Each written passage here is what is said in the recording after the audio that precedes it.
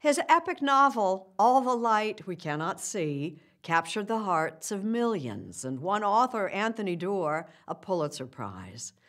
Now, Lee Cowan tells us Doerr's back with an even more ambitious book.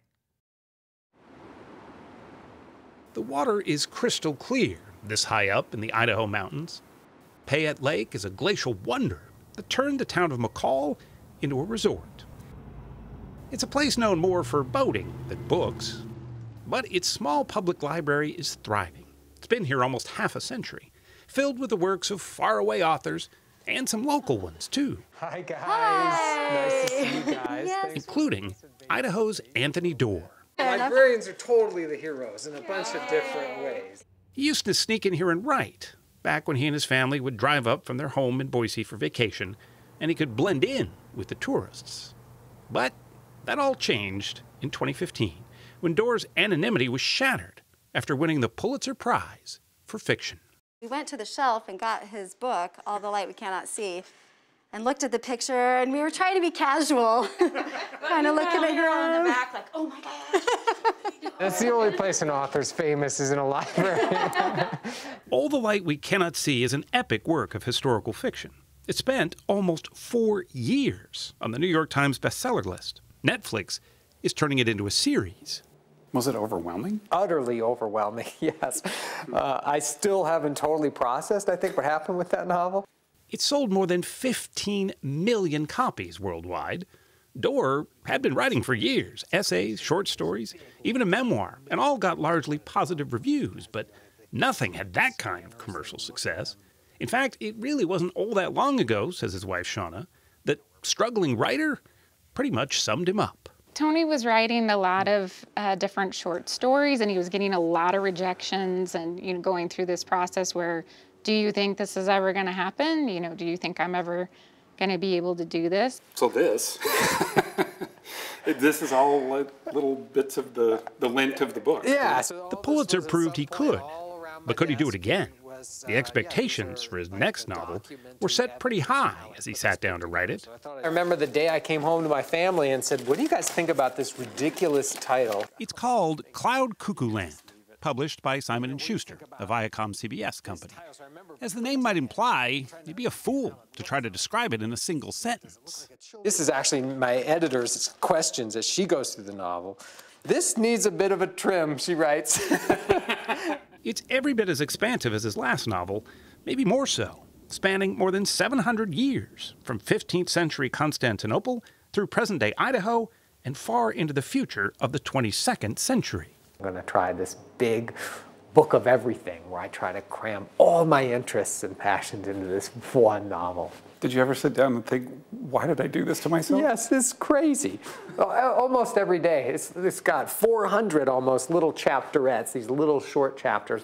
I've got 105 characters with names in the novel. You can see Zeno intersecting with Seymour and Anna. So many, he drew this Later diagram book, to help visualize his literary each other, labyrinth. Anna and by trying just for my own mind to braid their intersections all together. Spinning plates on poles. I'm trying to spin all five of these plates in the reader's mind all the time and keep touching them so that the reader doesn't forget what's happening. There were at least five times where he's like, I can't do it, and I'm, I'm gonna trash it. And I said, you, you can't. I need to find out what happens. Like, you know, you got to keep going. Across hundreds of pages, jumping from one century to the next, one character to the next, the novel's path is intricate. And yet Doerr's thousands of tiny details are dependable breadcrumbs that keep the reader from being lost. I don't think of myself as all that good yet. I like to think I'm getting better at my work. Come on, you really don't. You've got to think you're pretty good. No, I re- I genuinely don't. Language is just this system all the time of failing. You're almost expressing what you want to express, but you can't quite get there. And so writing itself has this humility built into it almost for me. Growing up in Cleveland, Doerr started humbling himself with writing at an age when most of us were just starting to read books with more words than pictures. I had spiral notebooks and I write, wrote stories into them. And even at a younger age, I would commandeer mom's typewriter and type stories about my toys. But how old were you when you were writing these little stories? Probably eight and nine. I remember just The power of dialogue, I remember really clearly. Like you can hit quotation marks and then your characters can say swear words and stuff. That seemed really powerful. His mom was a science teacher who went to great lengths to show him the wonders of the natural world, a fascination that has never left him or his writing. Your problems seem a little less important when you're in the woods. I think we all need that sometimes. Much of the setting for Cloud Cuckoo Land was inspired by the wild landscapes around McCall, bristling with ponderosa pines that seem as old as time, but, as he hints in the novel, are no longer as ageless as we once thought. The big headline on climate change is it's happening faster than scientists predicted. These are real issues that we are dealing with in our lifetimes and our kids are really going to have to deal with. So I feel like it's really a, a novelist's responsibility. If this is the largest issue of our time, then it would be irresponsible of me for not to represent it in a novel in some way. It's not overt. The vanishing of nature is a lot more subtle in his novel than the vanishing of books. That's his other big worry. The spine of his tale is an ancient Greek text that somehow manages to survive through the centuries by those who nurture it.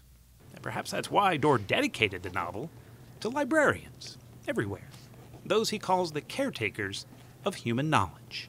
A library is this series of portals, really. This idea that you could live multiple lives through books so powerful that you don't just have to live through your own experience, you can live through the experiences of others in really intimate and deep ways by reading. On the page, he comes off as pretty serious. In person, not so much. Yeah, I do have a lot of books to carry around. That's super kind, Meg. Thanks. He rarely tells people he's a novelist, seems too high and mighty, he says, especially to his twin boys, about to head off to college.